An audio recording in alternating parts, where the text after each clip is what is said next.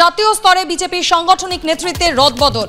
আগে বিজেপির সর্বভারতীয় সহসভাপতি ছিলেন দিলীপ ঘোষ, কিন্তু বর্তমান তালিকায় তার নামই নেই। পদ খোয়ালেন দিলীপ ঘোষ। এই বিষয় নিয়ে বিস্তারিত জানতে কথা বলে নেব আমাদের সঙ্গে। টেলিফোন লাইনে রয়েছেন প্রতিনিধি বিজেন্দ্র সিং।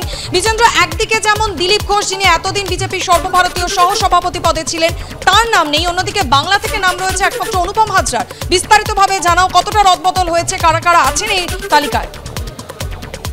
গত মাধুরী অনেকদিন ধরে এরকম জল্পনা চলছিল কি জেপি নাড্ডা তার যে ন্যাশনাল অফিস বেরোদেরকে নাম সেপারেটলি ঘোষণা করবেন এবং তারপরে কেন্দ্রীয় মন্ত্রিসভায় রদবদল হবে। আগে সংগঠনের রদবদল হবে, তারপরে কেন্দ্রীয় মন্ত্রিসভায় রদবদল হবে। এরকম বিজেপি সূত্র থেকে জানা যাচ্ছিল। আজকে যে তালিকা প্রকাশ করা হয়েছে ন্যাশনাল অফিস বিয়ারদের যেটা জেপি নাড্ডা অ্যাকসেপ্ট করে সেটাকে রিলিজ করিয়েছেন, সেটাতে দেখা যাচ্ছে ভাইস প্রেসিডেন্টের যে নামগুলো রয়েছে সেখানে দিলীপ ঘোষের নাম নেই। তিনি এর আগে যখন রাজ্য সভাপতি পদ থেকে সরেছিলেন, তিনি ন্যাশনাল ভাইস প্রেসিডেন্ট হয়ে গেছিলেন, কিন্তু সেই পদে তার নাম নেই সেই তালিকায়। অন্যদিকে সেক্রেটারি পদে অনুপম হাজরা আগে ছিলেন, আজ এবার আজকে যে দিকটা প্রকাশ করা হয়েছে, সেটাতে অনুপম হাজরা সচিব সেক্রেটারি পদে রয়েছেন। দিলীপ ঘোষের নাম ভাইস প্রেসিডেন্টের পোস্টে নেই। তবে দিলীপ ঘোষের কাছে আমরা জানতে চেয়েছিলাম কি এর মানে তো দুটোই হয়। এক হয় কি তাহলে তিনি কেন্দ্রীয় মন্ত্রিসভায় যাচ্ছেন বা দ্বিতীয়ত রাজ্যের রাজনীতিতে তিনি ফিরে যাবেন। এটাই দুটো কোশ্চেন হতে থাকতে পারে, যেহেতু তিনি ন্যাশনাল অফিস বিয়ারের যে পোস্ট ছিল ভাইস প্রেসিডেন্ট সেখান থেকে তাকে সরানো হয়েছে। দিলীপ ঘোষ এই আনন্দকে জানিয়েছেন কি পার্টিতে সিদ্ধান্ত নেওয়া হয়েছে কি যারা যারা আগামী লোকসভা ইলেকশন লড়বেন, তাদেরকে ন্যাশনাল অফিস বিয়ারের পোস্টে রাখা হবে না। তাই তার নাম এই তালিকায় নেই। তিনি ভাইস প্রেসিডেন্ট ছিলেন, তিনি নতুন তালিকায় তার ভাইস প্রেসিডেন্টের নাম নেই। তার কারণ একটাই তিনি জানিয়েছেন কেন্দ্রীয় স্তরে এটা সিদ্ধান্ত নেওয়া হয়েছে যে যারা যারা আগামী লোকসভা ইলেকশন লড়বেন, তারা লোকসভা কেন্দ্রে গিয়ে ফোকাস করবেন। তাই ন্যাশনাল পোস্টে তাদেরকে রাখা হচ্ছে না।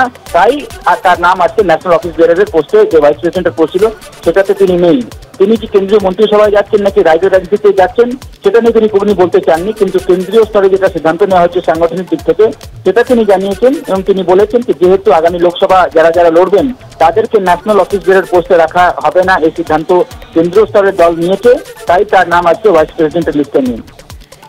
বিজেন্দ্র, তুমি আমাদের সঙ্গে থাকো। যে খবরের দিকে আমরা নজর রেখেছি, যে জাতীয় স্তরে বিজেপির সাংগঠনিক নেতৃত্বে রদ বদল হয়েছে এবং সেই তালিকায় নাম নেই দিলীপ ঘোষের। এতদিন পর্যন্ত দিলীপ ঘোষ বিজেপির সর্বভারতীয় সহসভাপতি পদে ছিলেন, যদিও বর্তমান তালিকায় তার নেম, বর্তমান তালিকায় বাংলা থেকে নাম রয়েছে একমাত্র অনুপম হাজরার। দলের সচিব হিসেবে নাম রয়েছে অনুপম হাজরার। অর্থাৎ পদ খুইয়েছেন দিলীপ ঘোষ।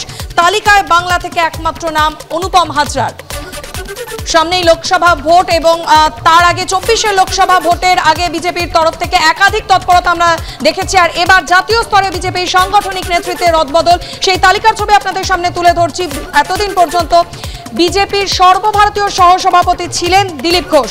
কিন্তু বর্তমান তালিকায় তার নাম নেই। আরও একবার কথা বলে নেব। আমাদের সঙ্গে রয়েছেন প্রতিনিধি বিজেন্দ্র সিং। বিজেন্দ্র তোমার সঙ্গে কথা হয়েছে দিলীপ ঘোষের। কি জানাচ্ছেন তিনি?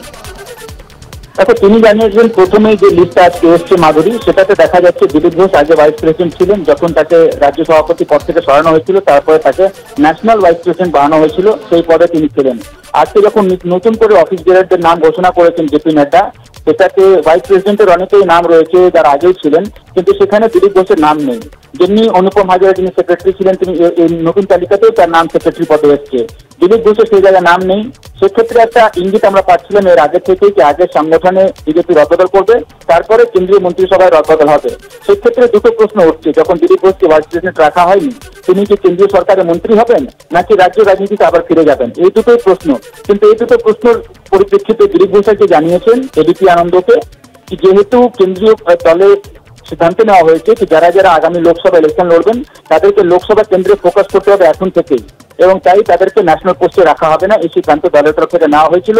তাই তার নাম আজকে ন্যাশনাল ভাইস প্রেসিডেন্টের তালিকায় নেই, যেটা জেপি নাড্ডা আজকে ঘোষণা করেছেন। এটা যদি ঘোষ, এবিপি আনন্দকে জানিয়েছেন। বিজেন্দ্র, তুমি আমাদের সঙ্গে থাকো, যে খবরের দিকে নজর রেখেছি। জাতীয় স্তরে বিজেপির সাংগঠনিক নেতৃত্বে রদবদল, তালিকায় নাম নেই দিলীপ ঘোষের। আর এবিপি আনন্দকে দিলীপ ঘোষ প্রতিক্রিয়া যেমনটা জানিয়েছেন, যে যারা লোকসভায় লড়বেন, তাদের নাম জাতীয় কর্মসমিতিতে রাখা হয়নি এমনটাই জানিয়েছেন দিলীপ ঘোষ। পাশাপাশি আপনাদের জানিয়ে রাখব, এই তালিকায় বাংলা থেকে একমাত্র নাম রয়েছে অনুপম হাজরা দলের সচিব হিসেবে নাম রয়েছে অনুপম হাজরা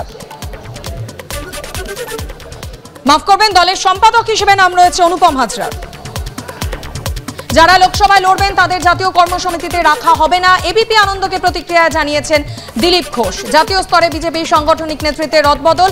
এতদিন পর্যন্ত বিজেপি সর্বভারতীয় সহ সভাপতি পদে ছিলেন দিলীপ ঘোষ, কিন্তু বর্তমান যে তালিকা, সেই তালিকায় নাম নেই দিলীপ ঘোষের। বাংলা থেকে নাম রয়েছে একমাত্র অনুপম হাজরার দলের সম্পাদক পদে রয়েছেন অনুপম হাজরা। অন্যদিকে এবিপি আনন্দকে দিলীপ ঘোষ যেমনটা জানিয়েছেন, যারা আগামী বছর লোকসভায় লড়বেন, জাতীয় কর্মসমিতিতে তাদের নাম নেই, জানিয়েছেন দিলীপ ঘোষ। তাই এই সিদ্ধান্ত। ধন্যবাদ জানাই আমাদের প্রতিনিধি বিজেন্দ্র সিংকে।